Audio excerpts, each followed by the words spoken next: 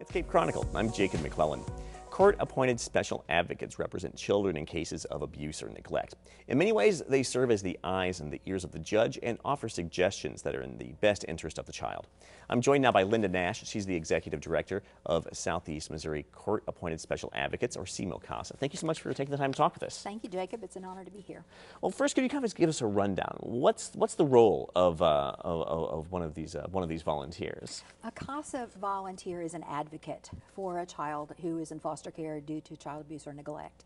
They speak um, in the best interest of the child and they, they advocate to the judge, to the court, so that they, the court can make uh, the best decision possible as to what needs to happen.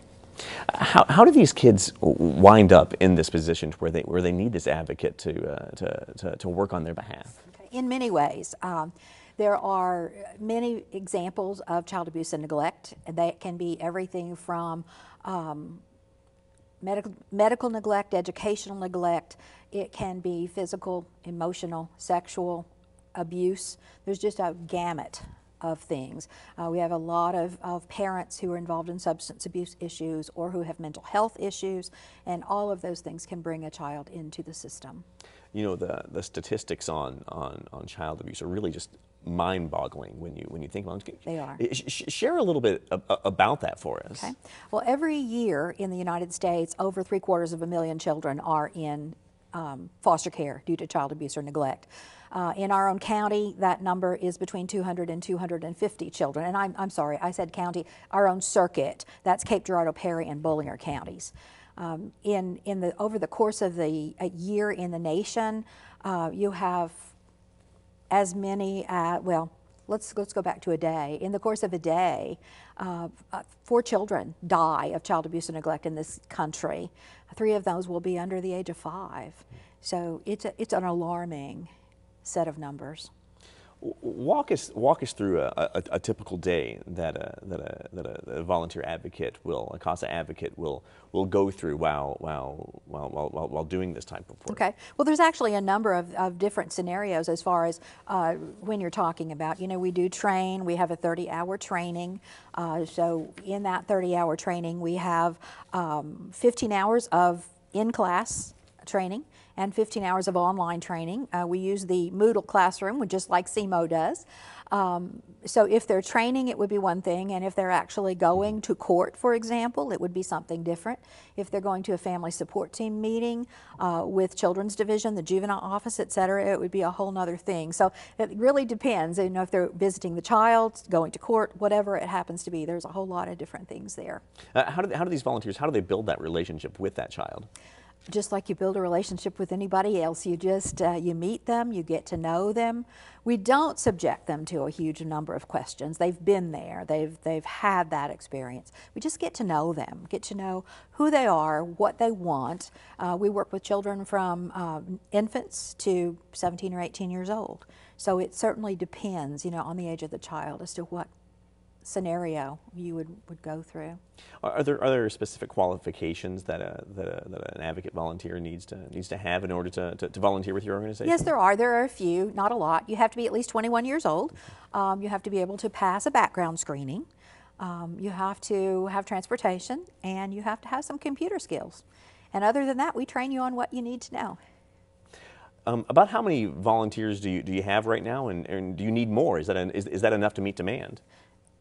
Eh, well, we have about 25, and no, it's not even close enough to, to meet demand. We are always looking for new volunteers.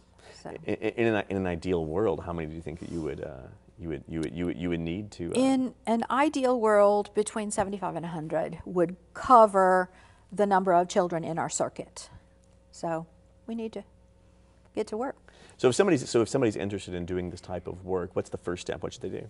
Well, we have a website, semocasa.com. They can look on there. Uh, they can give our office a call here in Cape Girardeau. It's 335-1726 is the number. We'll be happy to talk to them. Uh, they would need to fill out an application, come in for an interview, and then uh, in our next training we can get started. Are there, are there any particular skills that, uh, that, that, that, you're, that you're really searching for right now? You know, as long as they care about children and as long as they're willing to um, advocate and get to know the child, advocate on their behalf, no. You don't have to be a social worker, you don't have to be a lawyer, you just have to be a person who cares. To you, I mean, what do you think is the what is the most rewarding part about about volun, about becoming a CASA a CASA volunteer, about being an advocate for a, for for a child in one of these Okay. one, in one of these situations? That's a really good question. I think that um, probably the most rewarding thing is just knowing that you have done what you could. And we know that what the outcomes are not in our hands. The outcomes are in the hands of the court. Uh, but the more information that the judge has, the more informed decision the judge can make. And you know, we, we can't make sure the parents do everything that they need to do. We can't make sure that they go to their substance abuse classes and their training and these types of things. But we can advocate on behalf of the child and, you know, just help them to get into as safe and secure a placement as quickly as possible. Is this the type of uh, relationship that you hope that the advocate and that child develop? Is the type of relationship that you hope uh, uh, carries on? We do, and, and I know that I have read lots of stories about uh, CASA volunteers going to their child's wedding or their child's college graduation or high school graduation. Um, we hope that will continue. Obviously, once the case ends, the CASA is out officially, but that doesn't mean that relationship would end. Linda Nash is SEMO CASA's executive director. Linda, thank you so much for coming on to talk with us. Thank you.